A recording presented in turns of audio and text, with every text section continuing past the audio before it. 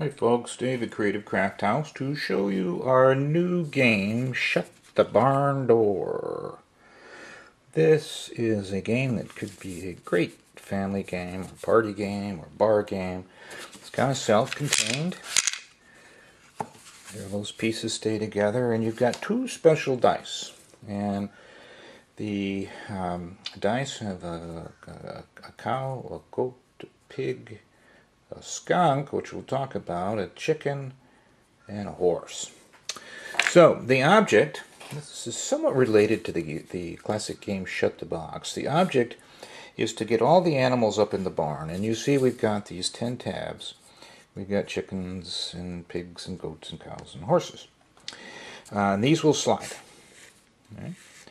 And there's a score associated with each one. And as they slide, that score will appear it may be hard to see with lighting here, but it's easy to see in real life. The score will appear.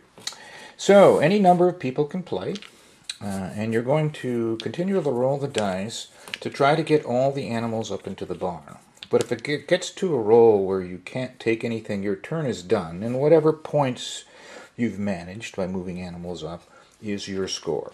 High score wins. If you get all the animals into the barn, you shut the barn door and you get a 10 point bonus. So here's how it goes. Let's see how I do. So I don't know if you can see those, but I have got a cow and a pig. So the pig goes up and a cow goes up. And you know, there's two of each animal. Now, one thing I didn't mention is the dice do have the skunk on them. And if you roll the skunk, well, we don't want him in the barn. So we roll the skunk, you can't do anything. Don't move anything up. So I roll two pigs. Well, I can take a pig, so my turn continues. As long as you can take something, your turn continues. And what have I got? I have got, well, I've got a skunk. That's no good. But I've got a chicken, so I'm still alive. And now I've got a pig, which I don't have any more pigs, but I've got a chicken, so I'm still alive. I need some horses. Horses are the big points, you see. Alright, so a pig and a skunk. Well, unfortunately, I'm done already. Well, not such a good score. But if I add them up, I've got uh, uh, two, four, six. I've got ten points. Um, not so good. so now it would be your turn to try to beat ten points. And so forth. Pass it around the room. High score wins. You could play penny a point. You could um, play one round, just the winner, or you could play um, um, first one to 100 uh, wins. So lots of ways you could decide to end the game.